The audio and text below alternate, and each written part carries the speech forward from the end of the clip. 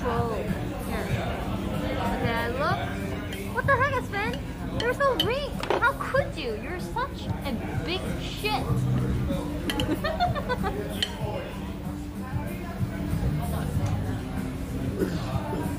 I expected. I was expecting too all day this year.